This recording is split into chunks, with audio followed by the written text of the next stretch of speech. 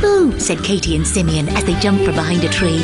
You cheeky monkeys, giggled Shirley. In all Sylvania, the forest was the Darwin family's favourite place.